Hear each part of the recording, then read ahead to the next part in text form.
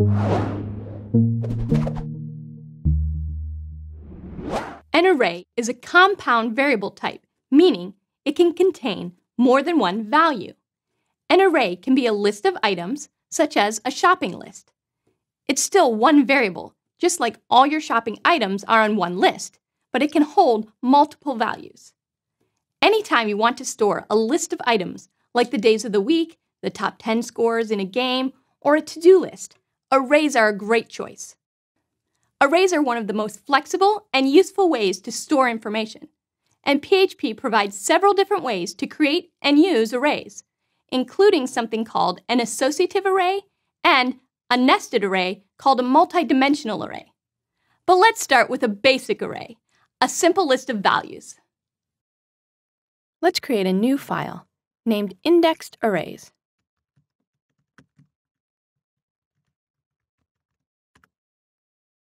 Open and close the PHP tags, and we're ready to get started.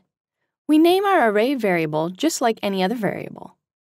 A dollar sign, followed by an underscore or letter, and then any combination of letters, numbers, or underscores. Let's call this array learn, and use the assignment operator. Next, we use the keyword array. And then, within parentheses, we add our list of values, separated by commas conditionals, arrays, and loops. To check out what our array looks like, we can use the ever-useful var_dump function. And let's run our script. php space indexed arrays dot .php. This tells us quite a bit of information about the array. First off, we see that the size equals 3 because there are three items or elements in the array. Next, we see a separate line for each element.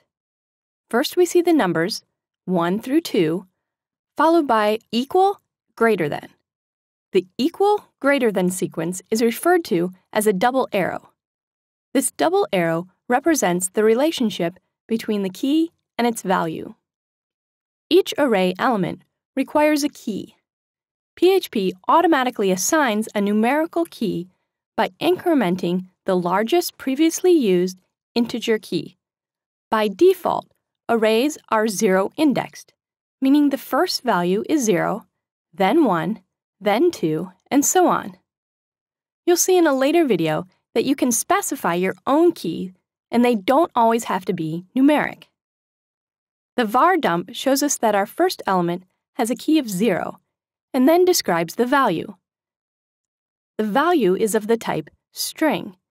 The string it contains is conditionals, and the length of characters is 18. Each additional element is described on its own line. If I want to access the second value, arrays, I would use its key.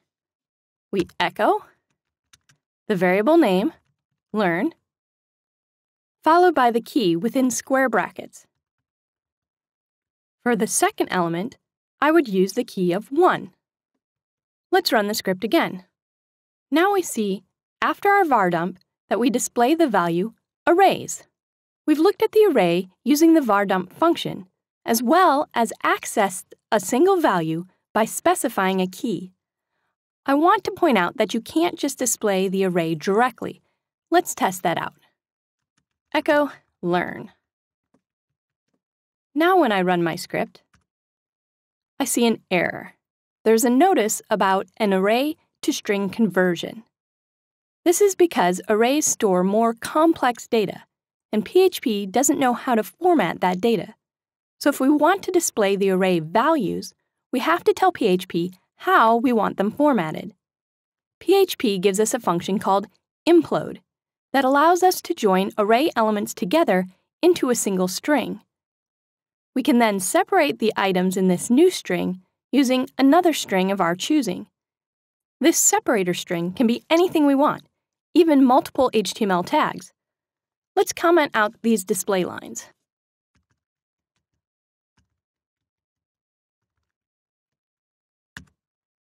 Then we'll add echo, implode, and our separator, which will be a new line character. Then we pass in the array, learn. Now let's run our script. We see a list of array element values.